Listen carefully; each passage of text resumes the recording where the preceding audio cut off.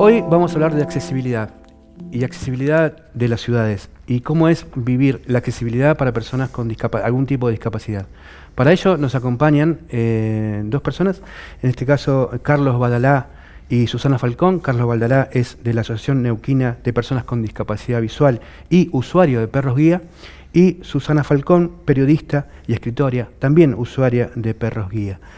Eh, Susana vive en Sevilla, o sea que tenemos la, posibilidad de tener a dos personas, que una vive en Neuquén, otra en Sevilla, acá en Buenos Aires, con una experiencia en Buenos Aires, que significa discurrir por la ciudad, desplazarse por la ciudad con esta situación de eh, discapacidad. Aunque la palabra puede ponerse de varias maneras, vamos a hablar un poco de esto, de discapacidad y la dificultad de desplazarse en esta ciudad.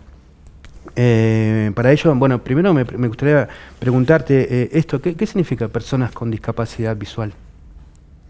Bien, eh, la persona con discapacidad visual es la que se identifica a través de un bastón blanco, que es el primer elemento que la persona aprende a usar para tener contacto con el exterior, en primer lugar con el piso y todo lo que esté delante de ella.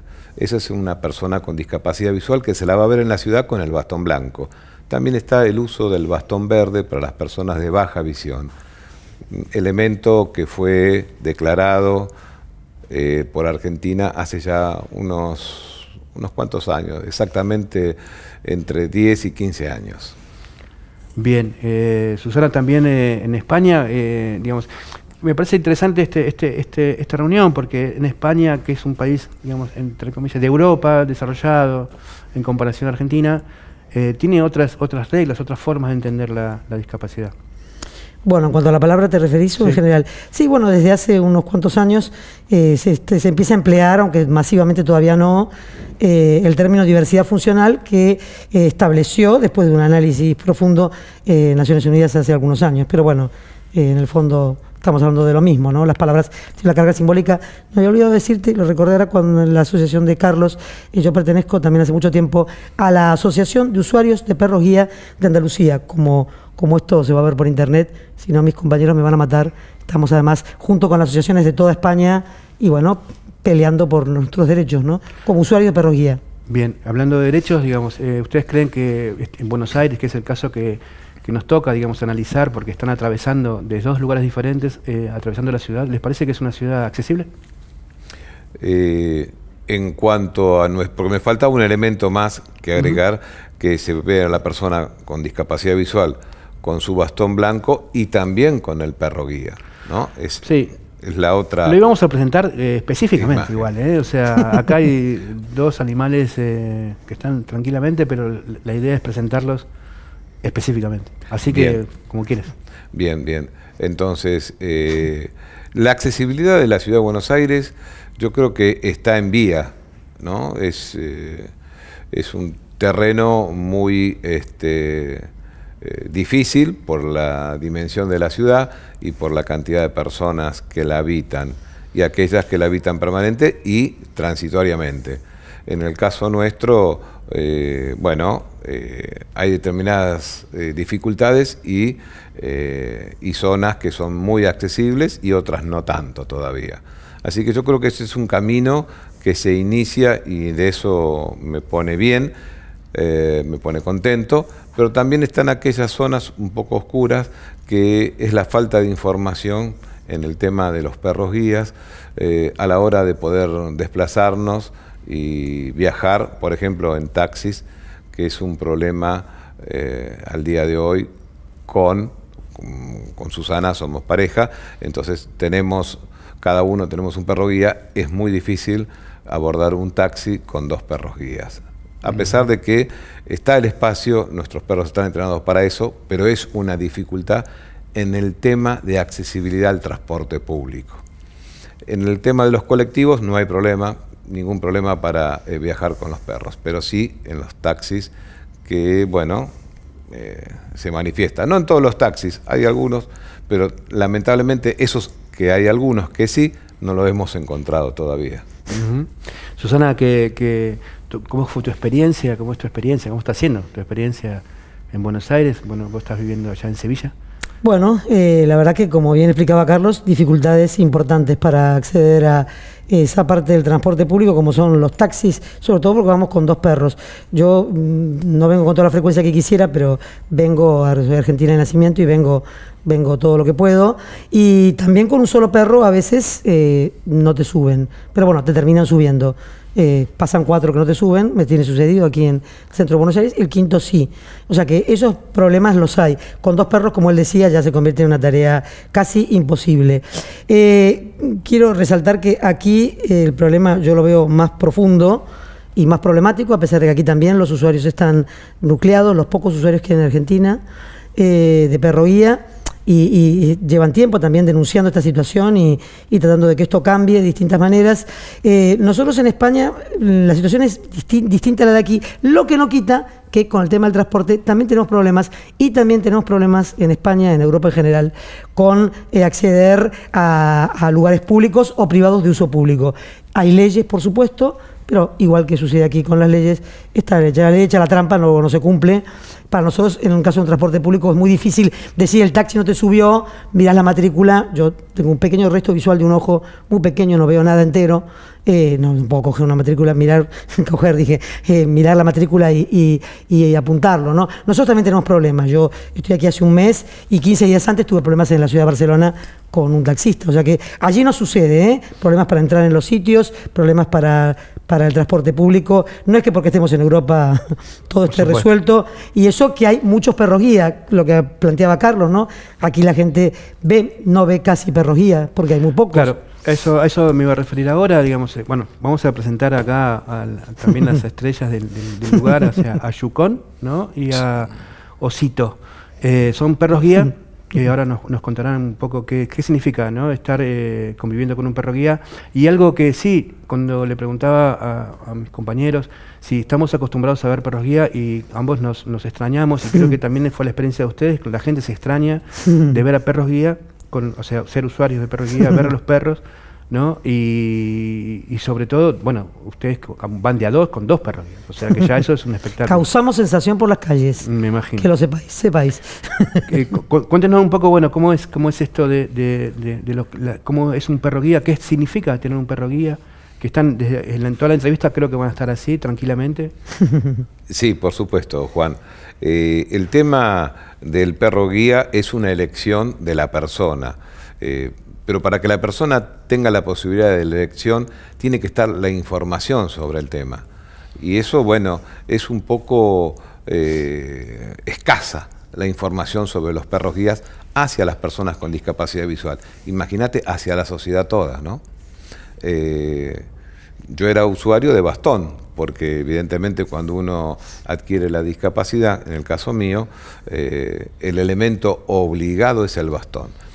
Y también para eh, pretender ser usuario de un perro guía, tenés que tener la rehabilitación en el uso del bastón, manejarte en el espacio ¿sí? con el bastón, tanto sea interno como externo. Eh, el perro guía lo que proporciona es mucha seguridad en la movilidad, un desplazamiento casi de manera natural, casi digo porque no todas las personas sentimos lo mismo, ¿no? En el caso mío es sentirme libremente para caminar, no pegado a la pared, a la, línea municipal, sino yo camino por donde el perro, yo le indico y el perro decide cuál es el lugar más seguro para caminar. En función de eso, mi perro lo que se encarga es de sortear todos los obstáculos, todos. Yo le eh, pido que me busque una escalera hacia arriba, me busca una escalera hacia arriba. Me busca una escalera mecánica hacia arriba y me la encuentra. ¿Eso es una orden? Eso es una orden, exactamente. Porque le estamos diciendo, en el caso mío, le hablo en inglés, por ejemplo. ¿Por qué? Eh, porque mi perro, mis perros guías, fueron tres hasta ahora, eh, son de Rochester, Michigan, de Leader Dog for the Blind. Eh, entonces, siempre están educados en la lengua madre. El que se tiene que adaptar es uno. Me costó mucho, pero bueno, eh, como siempre, chapuceando un poco el inglés, el perro alcanza a entenderme. Y no me pide que mejore mi inglés, solamente se alegra mucho porque ellos disfrutan de trabajar y yo disfruto que ellos estén alegres por lo que hacen. ¿sí? Bien. Es, eh, lo que, eh, hablando del perro guías, digamos, sí, en, Argentina, eh, ¿cómo es la situación de, tener, de, alguien con capacidad visual disminuida, digamos, pueda tener acceso a, un perro guía? Bueno, dentro de lo que yo sé, te puedo bajar la información. ya Estados Unidos, esta escuela, que no tiene nada que ver con el país, sino es una escuela, es una fundación que se dedica a proveer perros guías a toda América, ¿sí? desde el norte al sur. Y han cerrado la adjudicación desde el año 2010. Entonces pasó a ser un problema. Todos aquellos que antes del 2010 eh, fuimos eh, graduados de esa escuela, tenemos la posibilidad de volver a repetir cuando ellos se jubilan, porque tienen un tiempo de trabajo. Entonces volvemos a viajar y hacemos todo de nuevo porque pasaron los años y perros son también diferentes.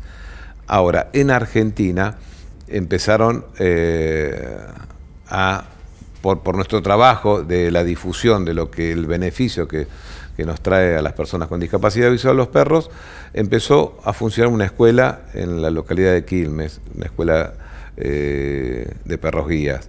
Y las personas pueden acceder en determinadas condiciones que la escuela exige. Yo en eso no me meto porque es una escuela que exige determinadas condiciones. A la escuela que yo pertenezco, la única condición es pagarme el pasaje de ida hasta el lugar y después está todo este, solventado por la fundación de esa escuela. Eh, claro, pero digamos, este, si pensamos en que digamos que las personas con discapacidad visual son muchas, digamos, no, no todas pueden acceder ¿no? a, este, a este beneficio de alguna manera porque es muy caro. Eh, sí. O sea, es una cuestión de clase. A ver, no, no, no, yo no creo. Eh, bueno, en este caso, eh, yo sé que los perros tienen un costo muy elevado, porque llegar a, a, tener un perro guía graduado requiere el trabajo profesional de varios profesionales en la materia. No es de un entrenador que se agarra un perro y lo entrena y ya está, y es un perro. No, por, obviamente que es un perro, pero para eso hay un trayecto que está eh, abordado por profesionales, de todas las áreas, ¿eh? de todas las áreas. Y después está la parte de la capacitación al futuro usuario. En realidad, ¿quién decide ese perro es para tal persona? es el profesional que estudia la movilidad de la persona y después el perro se ingresa a la persona. Y no eh, es que el perro elija a la persona. Eso es un, tema bastante Claro, claro, pero digamos, lo que, a lo que me refería era a, la, a esta idea de, digo, no hay tantos perros, digamos, acá en Argentina hay muy pocos y no vemos muchos perros guía. Exactamente. Bueno, digo, es un problema. Perdón. es, un tema económico? Claro que sí. Sí, sí, sí. En eso este, absolutamente eh, de, acuerdo. Es un tema económico, no solo llegar al perro, mantener después al perro guía. La manutención de un perro guía es, es cara porque es una manutención responsable. Tiene que estar obviamente protegido por todas sus vacunas, la visita al médico veterinario, el alimento tiene que ser de calidad, no te olvides que nuestros perros conviven las 24 horas con nosotros y van a todos los lugares, ¿sí? excepto el quirófano, después ellos tienen la eh, facilidad de estar con nosotros en todos los lugares. En cualquier lugar. Eh, llegar y acceder a un perro guía es una cuestión eh, yo diría, de, a veces de intereses. ¿no? Eh, entendiendo que una fundación tiene un objetivo claro y de ahí partir y no transferir los costos que genera ese perro al futuro usuario. No se trata de ofrecer un perro diciendo, mirá qué lindo, fíjate que tiene buena sangre, fíjate.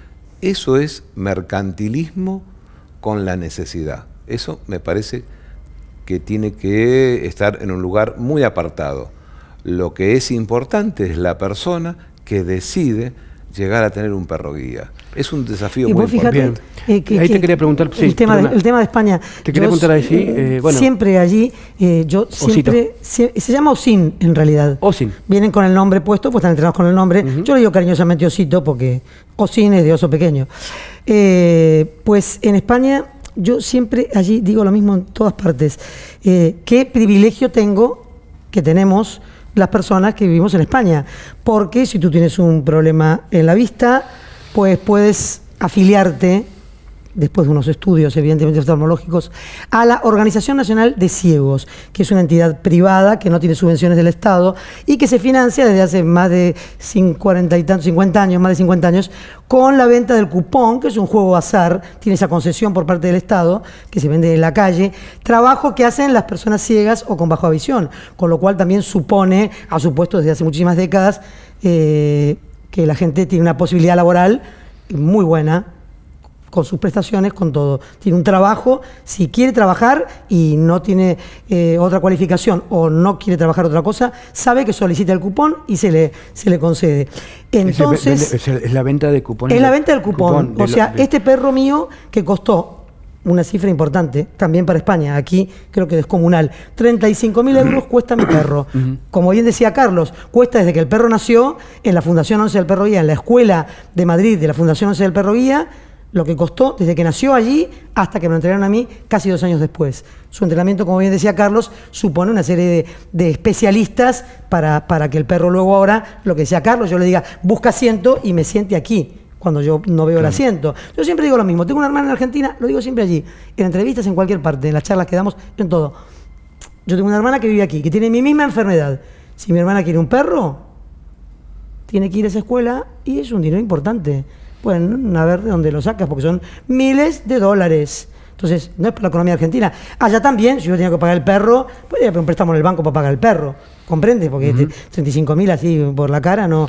Entonces, nosotros tenemos esa, esa cosa, ¿no? Que vivimos allí y que existe la ONCE. Hay países en donde las escuelas son, tienen un funcionamiento público y mi perro se levantó. Eh, ¿Entiendes? Pero es que a mí mm, siempre me, me, me desespera y me da un poco de rabia esta situación de Argentina porque digo, yo sí tengo derecho a tener un perro, pero porque yo vivo en España. ¿Y qué pasa? Si la gente aquí no tiene derecho a tener un perro, yo gratis me dieron este perro. Además fui a una escuela, estuve 21 días en régimen de internado con una instructora Vivi- pa' mí- viviendo con- con viviendo, te entregan el perro el primer día y ya estás, tienes que estar con el perro esos 21 días porque también te están evaluando si tú haces las cosas bien, has sido seleccionada para este perro que se eligió para mí, entonces tienes que pasar ese curso que es muy duro, que es todos los días, muchas horas, tienes una, una instructora, estás con otros compañeros, todo gratis, todo gratis. Bueno, porque yo siempre a los compañeros en la calle que venden cupones, eh, siempre les digo, mi perrito, un poquito de este perro tuyo, ¿eh? Estás en la calle, frío, Claro. calor, vendiendo, hombre, que luego no, no le regala a nadie nada. Con eso se pagan los perros. Entonces, ¿cómo puede ser que en un país como Argentina, pues la gente no pueda tener acceso? ¿Cómo- ¿Cuántos usuarios de perros guía hay? No llegan a 30, ¿sí? ¿Qué pasa? ¿No hay más 30, ci- 30 perros. ¿No hay más ciegos y personas con baja visión en Argentina? Por supuesto que sí, solo faltaría, sino aquí sería para que claro. se estudie médicamente qué pasa aquí. Pero no pueden acceder al perro. O sea, no estamos hablando, de- no hay ningún apoyo estatal levántate, de parte en Argentina, levántate, de no, parte de- del Estado para eh, las personas que quieren acceder a un, siéntate ahora. un Eh, perro guía. Siéntate, No, siéntate, no, siéntate. no, no, no. Eh, vale decir que en Tucumán eh, está empezando a funcionar la Fundación Argentina para el Perro Guía, que es un proyecto más o menos nivelador de lo que estamos hablando, ¿no? De poder facilitarle un perro guía a una persona que tenga las condiciones Claro. eh, que los profesionales van a evaluar, ¿sí? porque a veces uno cree que el perro guía le va a solucionar la vida. No es así. ¿sí? Este es un concepto muy este, usado en la Argentina. Eh, vos tenés un perro guía, no tenés problemas. No, no, no es así. La vida, ellos nos aportan esa seguridad en nuestra movilidad pero no nos solucionan un problema, nos agrega un problema porque tenemos que ser responsables sobre nuestros perros. Totalmente. Esto, esto nos vuelve otra vez al tema de la accesibilidad, ¿no? Y justamente, ¿no? Esto, por eso esta idea de no solamente moverse en la ciudad con, con, perros, ustedes, bueno, se mueven de a cuatro, de alguna manera, y causa sensación, ¿no? El, el, cartel que dice, no me distraigas, estoy, estoy guiando, y el tuyo dice, no, no me toques, estoy trabajando. Exactamente. Eh, porque me imagino, claro, me imagino que la gente eh, se, se, vuelve loca, ¿no? Con los, estos perros que, digo, los quieren tocar y, y, se, tienen experiencia de este tipo, ¿no? de de, sensación lo que causa tener. Yo había venido con mi anterior perra guía y, mi madre que ha fallecido hace unos días, y la primera vez que vine con mi primer perra guía, en el 2015, fuimos por la calle Santa Fe a un bar en la calle, ¿no? La terraza, no sé cómo se dice, las mesas en la calle, a tomarnos algo. Y estábamos charlando. Y a la quinta persona que se acercó, mi madre, que era muy graciosa, dijo, uno más que venga y le tengas que explicar, yo me levanto nena y me voy porque esto no podíamos hablar. Causa sensación los perros, pero porque no hay, Juan, porque no hay. Entonces, mucha gente te dice, nunca había visto uno, lo había visto en las películas. Entonces, bueno, no deben de tocar, y por eso el cartelito, muchos tocan igual, otros muchos preguntan. La gente, la verdad que es en general súper educada y súper correcta y están como fascinados. Y ya encima, eh, nos pasaba en Sevilla también, ¿eh? lo de ir de a dos, hay más compañeros que van con su pareja tal, pero eh, además nuestros perros quieren ir de a dos en tándem, que es complicado, porque hay más gente por la calle. A veces pueden ir a la par, el mío quiere ir desesperadamente con Yucan, quiere estar caminando a la par, está encantado. Eh, es normal que la gente les deslumbre nuestros perros, porque no están acostumbrados a ver que esto que se conoce técnicamente como una alternativa de movilidad, como bien decía Carlos, no nos resuelve la vida. Sí nos permiten tener una vida libre, autónoma, independiente, feliz, en lo que se puede hacer feliz. Y algo que me habías comentado fuera de cámara es que cada perro también se adapta a la personalidad de, su dueña. ¿no? Vos que sos periodista, escritora y te movés bastante, según lo que me contaste, digamos, tu perro se, se movía a tu ritmo. pero en pandemia. anterior y esta elegidos para mi vida. O sea, a él también le hice, en la escuela de Estados Unidos, lo puede contar él, también le hace un estudio a la persona. Yo tanto para mi primer perra como para este segundo, yo tuve que pasar por unos, unos estudios hechos por distintos profesionales y en donde, claro, te preguntan tu vida y yo viajo y me muevo muchísimo. Después escribo en mi casa, pero antes de escribir, me, ahora he venido a Argentina justamente para un libro, para las entrevistas de un libro. Entonces, yo bromeo con que mi perro llegó en fin de diciembre del 2019 a Sevilla, empezó a hacer la vida que yo hago, hizo varios viajes, estuvo en lugares con cientos y miles de personas por actividades que yo hago. Y te tocó pandemia Después llegó la, pandemia. Yo bromeo con que Osim, dentro suyo, decía, ves una palabrota, ¿qué mierda es esto? A mí me, porque está entrenado, fue entrenado para mi vida. Y hay compañeros que tienen perro guía y van de su casa al kiosco de la 11 y, luego salen con la señora o hacen una vida pequeñita, recoleta, respetable, nada que ver con la mía, que estoy para arriba y para abajo todo el tiempo, por mis libros y por activismos que yo hago. Eh, entonces, el perro, claro, desconcertado, eh, mm. porque fue elegido porque claro, también él tiene un carácter que eso le va bien. Los perros tienen que acostumbrarte a, tu vida, pero el perro está elegido para mi manera de ser y para mi forma de vida. Está muy bien. Volviendo entonces, me, había quedado, me había quedado esta idea de la accesibilidad y hablamos también en algún momento de que justamente ustedes que navegan la ciudad de una forma diferente eh, se encuentran con un montón de problemas que más o menos los enunciamos, pero también esta idea de, pensar la accesibilidad, digamos, como un problema político a resolver. ¿no? Eh, en esto hablamos de diseño universal, digamos, ¿qué, ¿qué es eso? Bueno, el diseño universal es la puerta grande para tener una ciudad amigable, porque debemos pensar que eh, en este concepto de hacer una ciudad para nosotros, para las personas con movilidad reducida, es un grave error, porque el tránsito en la vida nos va a llevar en algún momento tener que darnos cuenta de que esa obra que fue hecha para la accesibilidad universal, hoy en día yo la puedo disfrutar. No teniendo ningún tipo de discapacidad, sino el avance de los años, hacen que mi movilidad sea una movilidad reducida, y no por enfermedad, sino por el paso de los años. Eso es maravilloso, llegar a una edad avanzada y decir, bueno, hoy no me cuesta subir a un transporte público. ¿Por qué? Porque el transporte público entra en los, en los valores de la accesibilidad universal, ¿no? Eh, en el transporte, te digo después en la ciudad, este, yo creo que estamos en un camino, nos falta muchísimo. Este, es una cuestión eh, profesional, el diseño universal pasa por una, una parte profesional, pero sí pasa inexorablemente por la decisión política, porque todo pasa a partir de la decisión política. Y yo creo que eh, soy muy optimista en eso. Estamos, y los jóvenes se van dando cuenta de que la vida se puede mejorar si todos estamos en el mismo círculo. ¿sí? No hacer las cosas para un sector, sino hacerlas para todos y para todas. ¿no? Muy bien, los despido. Este, si quieres agregar algo más, este, ya cerrando la entrevista, agradecido de que estén acá. Eh, si quedó algo en el tintero, este es el eh, momento. Gracias Juan, muy agradecido de, mi parte. Y yo quería también decirte que hay muchas personas que tienen perros guía que también están haciendo lo suyo en cada ciudad, en cada pueblo, en el interior, también en la ciudad. Eh, esto es una cuestión de educación y como todo lo que sea a través de la educación lleva mucho tiempo. Así que yo te este, agradezco este espacio y, y, bueno, y también Yucan agradece, ¿eh? Yucan agradece, sí. Bueno, yo quería agradecerte muchísimo que nos hayas invitado a Canal Abierto, que es como se llama, ¿no?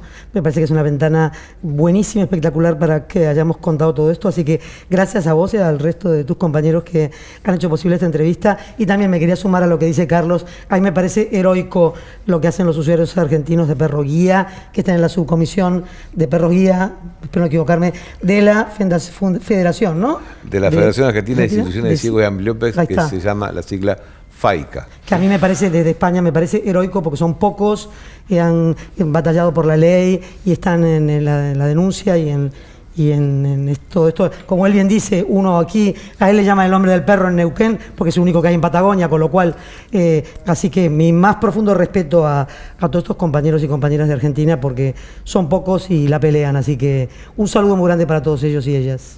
Muchísimas gracias. A ti.